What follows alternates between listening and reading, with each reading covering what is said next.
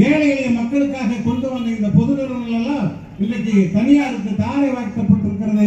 ஏறத்தாழ இருபத்தி மூன்று பொது நிறுவனங்களை நம்முடைய மோடி அவர்கள் இன்றைக்கு பிரைவேட் அந்த முதலாளிக்கு கொடுத்திருக்கிறார்கள்.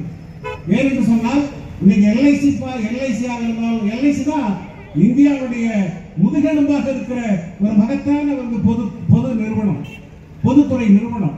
இன்னைக்கு ஸ்டேட் பேங்க் ஆகட்டும் எல்ஐசி ஆகட்டும் ரயில்வே ஆகட்டும் அனைத்து துறைகளையும் இன்றைக்கு தானே வளர்த்திருக்கிற ஒரு ஆட்சி தான் இன்னைக்கு மத்தியில இருக்கிற மதவாத ஆட்சி. இன்னைக்கு மத்தியில இருக்கிற இந்த ஆட்சி மக்கள் விரோத ஆட்சியாக இன்னைக்கு தேர்தல் அறிக்கை அறிவிச்சிருக்கிறாங்க பொது சிவில் சட்டத்தை கொண்டு வருவதாக அறிவித்திருக்கிறார்கள். பொது சிவில் சட்டம் என்று சொன்னால் இந்த நாட்டிலே இருக்கிற இஸ்லாமிய மக்களாக இருந்தாலும் கிறிஸ்தவ மக்களாக இருந்தாலும் சைன மதத்தை சார்ந்தவர்களாக இருந்தாலும் புத்த மதத்தை சார்ந்தவர்களாக இருந்தாலும் ஒவ்வொருத்தருக்கும் நம்ம எல்லா சாதியில் இருக்கிற எல்லா சமயத்தில் இருக்கிற எல்லா இந்த நாடு வந்து பல்வேறு மொழிகள் பல்வேறு இனங்கள் பல்வேறு குழுக்களை கொண்ட பல்வேறு பண்பாட்டு தன்மைகளை கொண்ட ஒரு தேசம்.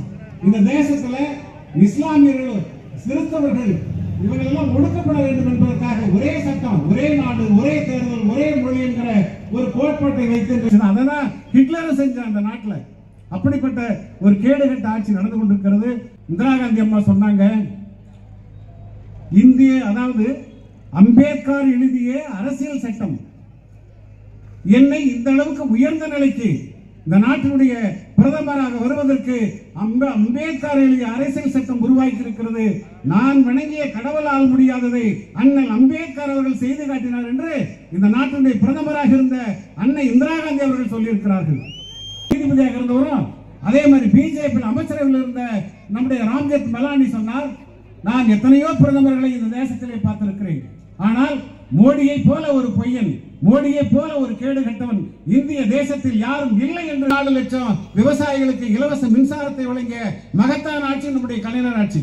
அதே போல இன்றைக்கு நம்முடைய தளபதி அவர்கள் ஒன்றரை லட்சம் ஏறத்தால ரெண்டு லட்சம் பேருக்கு இலவச மின்சாரத்தை வழங்கி இருக்கிறார்கள் எண்ணற்ற திட்டங்களை கருவிலிருந்து கல்லறை வரைக்கும் இந்தியாவிலே செய்து கொண்டிருக்கிற ஒரு மகத்தான ஆட்சின்னு சொல்லி சொன்னால் அது திராவிட முன்னேற்ற கழகத்தில் இருக்கிற இந்த ஆட்சி நம்முடைய சரித்திர நாயகன் தளபதி அவர்கள் தான்.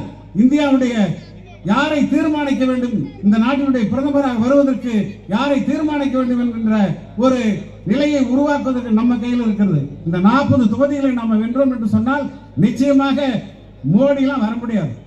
அவர் வந்தால் அவர் பிரதமர் இருக்க முடியாது. உறுதியாக சொல்லுகிறேன் இந்த மேடையில் மோடி பிரதமர் இல்லை அவர்கள் பாவம். அந்த சிபிஐ தேர்தல் அறிக்கையை எல்லாத்தையுமே தொ- தொலைக்காட்சி எல்லாத்தையுமே அவருடைய கைக்குள்ள வச்சுக்கிட்டு ஒரு விமர்சனம் செய்து கொண்டு இந்த மக்களை குடும்ப ஆட்சி நடத்துவதற்காக துடித்துக் கொண்டிருக்கிறார்கள்.